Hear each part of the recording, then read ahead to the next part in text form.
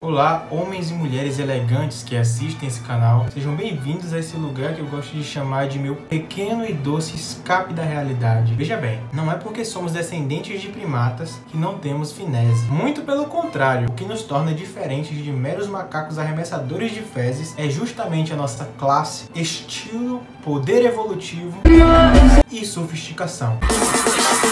É com isso em mente que vos apresento o santo graal da evolução, que são as aulas de boas maneiras do TikTok. Já chega! Eu sei que a vontade de agir como um ogro medieval é grande em nossos corações. Porém, devemos lutar contra esse instinto animalesco e evoluir. Foi em uma das minhas longas pesquisas sobre a evolução da nova raça humana, como eu gosto de chamar esse próximo passo da evolução da nossa espécie, receba! Que eu acabei encontrando, quer dizer, que eu acabei sendo presenteado pelos céus com os vídeos, melhor dizendo, com as obras de arte em formato de TikTok, que são os vídeos da nossa ilustríssima Fernanda Brito Protocolo. Vamos às apresentações. A Fernanda é essa mulher aqui, gente. Essa é a nossa coach de boas maneiras. É ela que vai desprimatizar a gente. Como nem tudo são flores, e já que com grandes poderes vem grandes responsabilidades, a nossa querida Fernanda precisa de uma cobaia. Um pupilo para servir de exemplo. Um messias para nós.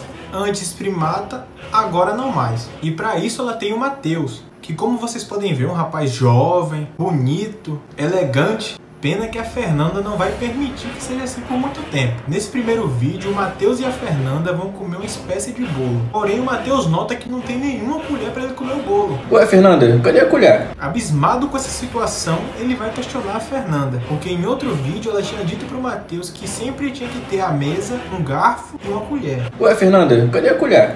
Da outra vez você falou que era garfo e colher. Dessa vez só tem garfo. Para surpresa de todos, essa seria a última vez que o Matheus ia comer um bolo na vida. Dessa vez só tem garfo.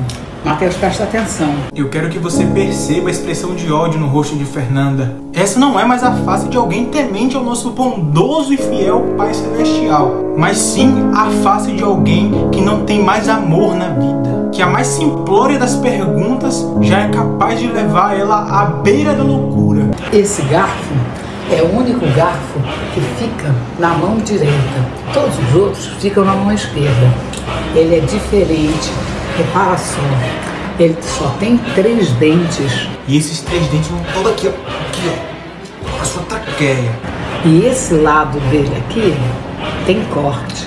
Então, Então acho melhor você ficar ligado, Matheus, porque ela sabe onde você mora. você vai usar ele para cortar aqui assim. Esse é o garfo de bolo. Difícil de você encontrar.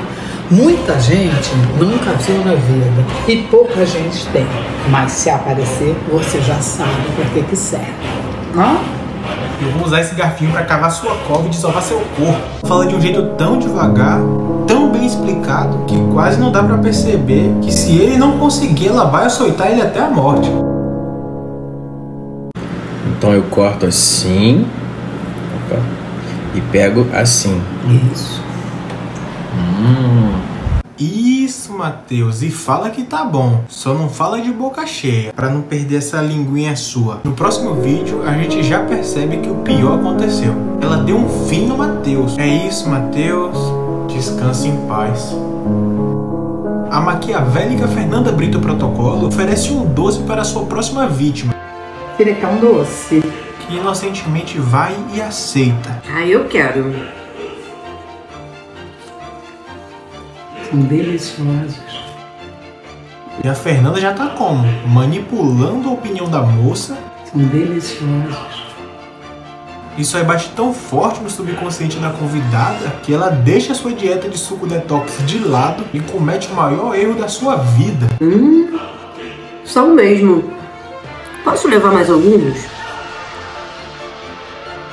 Sinto muito informar, mas essa virada de cabeça só pode significar uma coisa: assassinato com requintes de crueldade. Nesse momento, as luzes se apagam e só são escutados gritos de agonia. A Fernanda havia sido tomada por uma ira, uma fúria, um ódio e fez aquilo que a gente já esperava. Ela agiu de acordo com a sua natureza vil e dilacerou a convidada usando a própria bandeja de doces. Só que não, né, gente? Seria muito pouco para Fernanda apenas dar um fim para uma vida de uma criatura tão inferior. Então, Fernanda decide destruir a sua convidada pouco a pouco. e começa por onde mais dói. Aqui de casa pode levar até todos. Na casa dos outros, nem perguntar não pode. E ela tem razão. Claro que ela tem razão. Só resta você concordar com ela. Sua vida tá aqui, ó. Na palma da mão da Fernanda. Depois disso, a cena corta para uma explicação da Fernanda, e é claro que a convidada nem aparece mais em cena, e eu temo que ela não esteja mais entre nós. E ela tem razão. Atenção, anfitrião está dando uma festa para os convidados dele.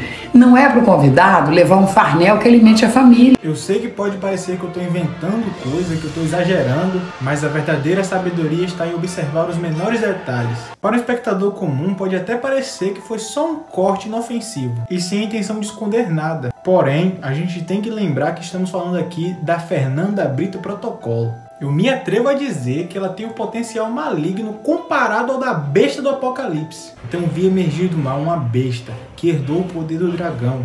É, a semelhança entre as duas é inegável. Vamos voltar direto ao passado, quando nosso querido Mateus ainda era vivo. Toma, Mateus. A Fernanda oferece a ele uma generosa porção de doce de jaca Toma, Mateus. Isso aí é doce de jaca. É uma delícia. e põe generosa nisso. É uma delícia. Hum, Fernanda, eu não gosto muito de jaca. Mais uma vez a gente percebe que a filmagem corta para uma cena dela sozinha. Todas as vezes em que você tiver numa situação de uma comida que você não come ou não gosta, você está na casa do outro. Lembre-se, ele está fazendo o melhor dele. Aceite, belisque um pouquinho, embroma e depois diz que está satisfeito. É o suficiente. Eu acredito que todas essas cenas fazem parte da grandiosa vingança da Fernanda. Durante anos ela reuniu vídeos que provassem que todos ali à sua volta eram ignorantes sem educação à mesa, que não obedeciam às regras da etiqueta e, portanto, não mereciam a dádiva da vida. Posso levar mais alguns? Ah não, Fernanda.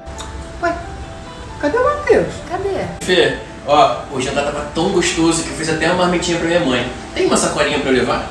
Então, como uma leoa sedenta pelo sangue de suas presas, Fernanda deixou que cada uma dessas pessoas se sentissem confortáveis dentro da sua casa, do seu covil de maldade. E quando estavam acostumadas e bem gordinhas, já era tarde demais. Todos eles já estavam entrelaçados nas garras afiadíssimas de Fernanda. E é com muito pesar que eu anuncio o fim da nossa história. Adeus, Mateus. Adeus, convidada misteriosa. Vocês jamais poderão ser vingados.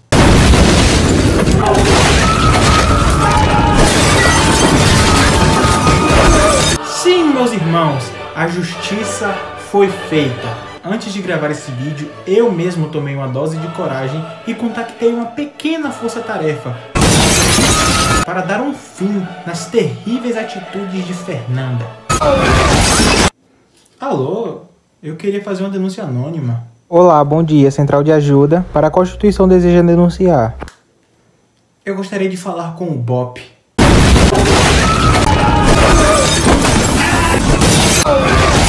Inúmeras viaturas lotadas de soldados invadiram a casa de Fernanda. Na mão de cada um desses soldados, um fuzil de alta precisão e permissão completa para atirar sem sequer fazer perguntas. Pronto, já posso dormir em paz. Mas no outro dia, quando eu acordei, tive uma surpresa. Tive a notícia de que a Fernanda Brito Protocolo tinha escapado dos soldados após imobilizar todos, usando apenas uma xuxinha de cabelo e um garfo de três dentes. E descobriu quem havia denunciado. Peraí, isso aqui que eu tô lendo tá certo mesmo? Sim, ela descobriu e tá vindo pra cá te buscar. Mas mesmo que ela tenha descoberto, eu não tô com medo não, eu não tenho medo dela não. Não,